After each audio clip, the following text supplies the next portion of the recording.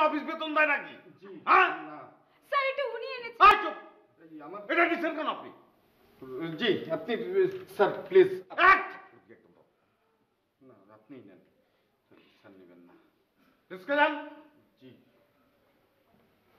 Sir উনি সব সময় এরকম করে এই কথা বলবেন না। আপনি চুপ করে থাকেন না। কেন আপনি স্যারের মুখে মুখে তর্ক করছেন? তাই শোনেন আপনি প্রত্যেকের ইসে যে তাকে শুধু ফ্লাক্স গিফট করবেন সবারই ফ্লাক্স গিফট করবেন একটা জি স্যার। দাম খুব বেশি না।